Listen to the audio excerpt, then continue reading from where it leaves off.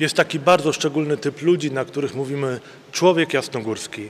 I gdy myślę o tej wiadomości, którą dziś otrzymaliśmy o śmierci ojca Jerzego Tomdzińskiego, e, trzykrotnego przeora Jasnej Góry, dwukrotnego generała zakonu Paulinów, to właśnie widzę ten typ człowieka. e, Typ człowieka, który ukochał Matkę Bożą ponad wszystko, ustawił ją w centrum swojego życia, całej swojej historii, wszystkich swoich marzeń i planów.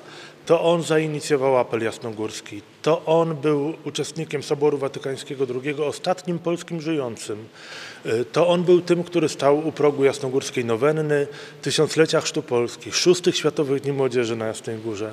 To on był tym, który y, zaprzyjaźnił się z kardynałem Stefanem Wyszyńskim, z kardynałem Wojtyłą i w związku z tym był w samym centrum tej wielkiej walki o wolność Polski i o wolność Kościoła. To on był tym, który całą swoją osobą uosabiał odrodzoną, niepodległą Rzeczpospolitą, dlatego że przecież urodził się dokładnie w tym samym roku, co Polska odzyskująca niepodległość i wreszcie był y, tym, który doczekał czasów wolnej Polski, wolnego Kościoła, więc to jest biografia człowieka spełnionych marzeń, choć także biografia człowieka heroicznego, który przeżył ciemną noc okupacji, cza- czasy, y, straszliwe czasy stalinowskie.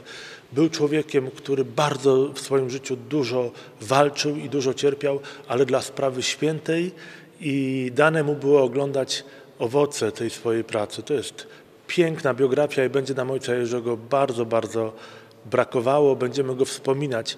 I choć w naszym zakonie panuje zwyczaj, że się nie beatyfikuje, nie kanonizuje braci, to dlatego, że jesteśmy pewni, iż jeśli ktoś umarł w zakonie, umarł w habicie, umarł po długim y, życiu wypełnionym modlitwą tu na Jasnej Górze, to z pewnością idzie do nieba. Jak pomyślimy o 85 latach życia y, zakonnego, o 77 latach kapłaństwa, czyli pewnie o około 30 tysiącach mszy świętych odprawionych przez Ojca Jerzego, jaki to musiał być głęboki człowiek, jaka głębia spotkania z Jezusem Chrystusem. I może jeszcze na koniec ta jedna, jedyna niezwykła msza odprawiona w Bazylice Świętego Piotra dla tysięcy biskupów zgromadzonych na Soborze. Msza, o którą go zapytałem kilka lat temu i powiedział mi, mam tremę do dzisiaj, bo był człowiekiem wielkiego poczucia humoru, bardzo, bardzo ciepłym, życzliwym dla ludzi, kochającym Kościół, kochającym Polskę i e, kimś, kogo będziemy bardzo długo z wielką wdzięcznością wspominać.